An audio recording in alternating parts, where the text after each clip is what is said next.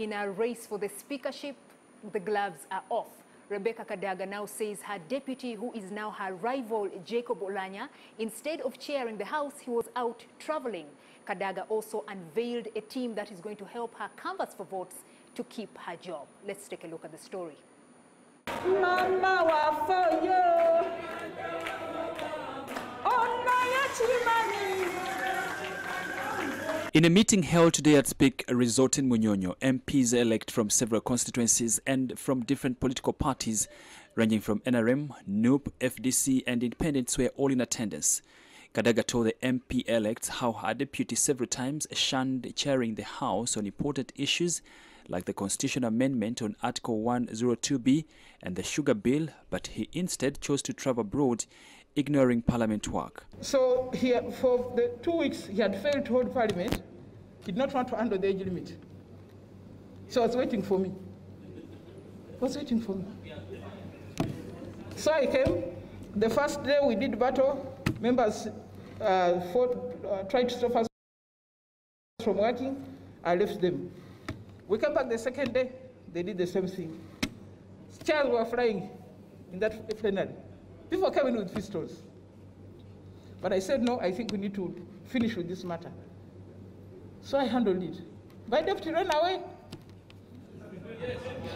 Yes, he ran away. He ran away out of the country, far safe, far away. Kadaga has told the new legislators and reminded the old of her will to represent the will of the people, and many times she has stood between government and the population, though she has been accused of being tribalistic.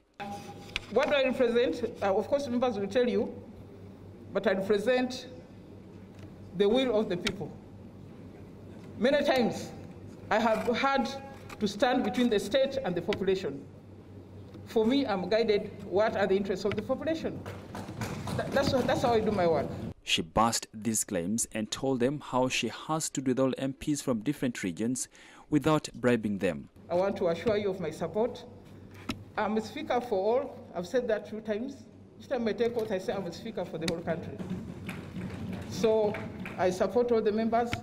Out of 529 MPs that are to occupy the 11th Parliament, Kadaga assured the legislators of her support from over 300 MPs. There is this myth that the Central Executive Committee uh, does not like me, but I'm the vice chair of that committee, elected by the people of Uganda massively, as you remember. So only three people in that committee who chair that meeting, the president, Haji Kigongo, and I.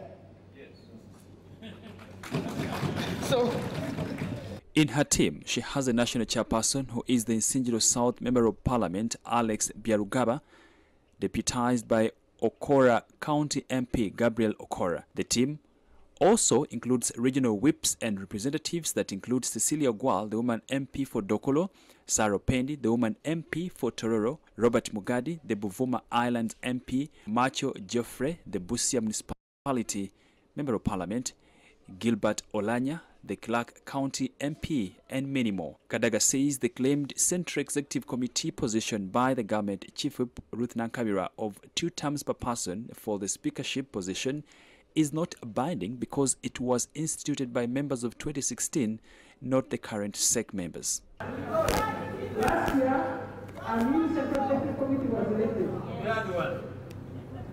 So it has not started. And uh, no on that issue. All I said was, why are you pushing me out? Why? Why? That's why, why are you pushing me out? You have around my princess at South India. Why do you want me to go? And I here. That was it. There is no argument.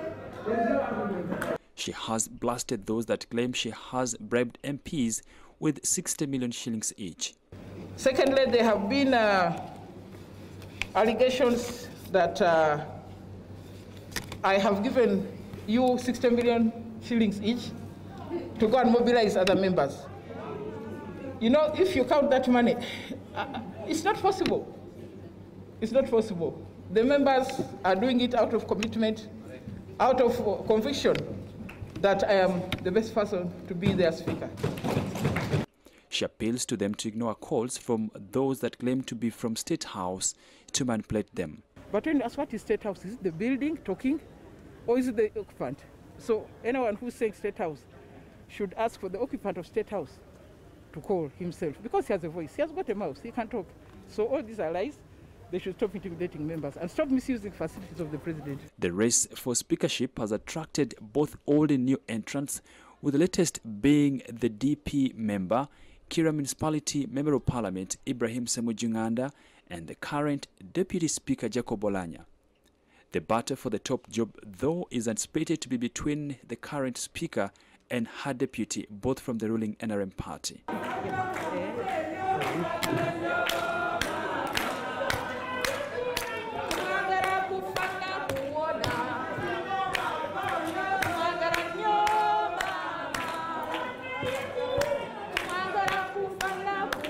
Story compiled by Rachel Nakasi and Obed Lutale for the news in Kampala.